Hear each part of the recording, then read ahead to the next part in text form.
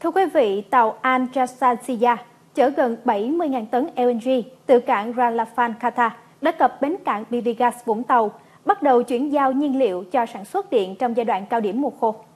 Đây là chuyến tàu LNG thứ hai được Tổng Công ty khí Việt Nam Bibigas mang về Việt Nam và là lần đầu tiên LNG được chính thức sử dụng để phục vụ sản xuất điện.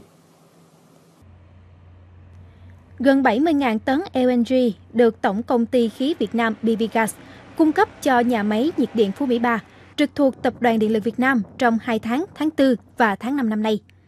Việc tiếp nhận chuyến hàng LNG được BVGas phối hợp với nhiều đơn vị và các cơ quan chức năng tiến hành, đảm bảo an toàn tuyệt đối, đúng quy định, đúng thời gian. Theo kế hoạch, tàu Antrasa Suya neo và làm hàng trong khoảng 36 giờ và sẽ rời cảng BVGas Vũng Tàu trong ngày hôm nay, 13 tháng 4.